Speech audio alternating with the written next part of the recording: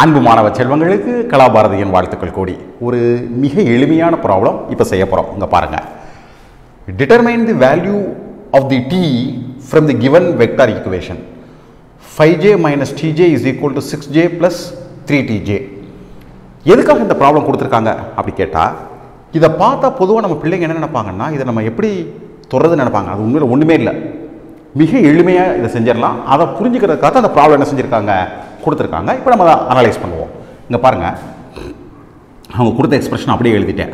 Five J minus DJ is equal to six J plus three DJ என்ன பண்ணுறேன் கேட்டிங்கன்னா D எல்லாம் ஒரு பக்கம் டி இல்லாதெல்லாம் இன்னொரு பக்கம் மாற்றிட்டேன் so five J minus six J is equal to three DJ plus DJ five minus six it is minus J three D plus one D is four DJ J J cancel ஆயிரும்.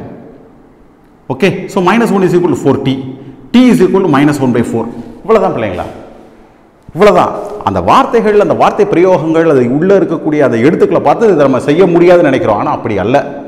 இதை புரிஞ்சுக்கிறதுக்காகத்தான் இந்த problem ஏதேனும் சந்தேகங்கள் இருந்துச்சுன்னா comment பாக்ஸில் comment பண்ணுங்கள் சேனலுக்கு subscribe பண்ணுங்கள் நிறைய மாணவ செல்வங்களுக்கு கணிதம்னா ரொம்ப கஷ்டம்னு நினைக்கிறாங்க. அவங்க அனைவர்கிட்டையும் கலாபாரதியை அறிமுகப்படுத்துங்க. உங்கள் அனைவருக்கும் கலாபாரதியின் வாழ்த்துக்கள் கூடி.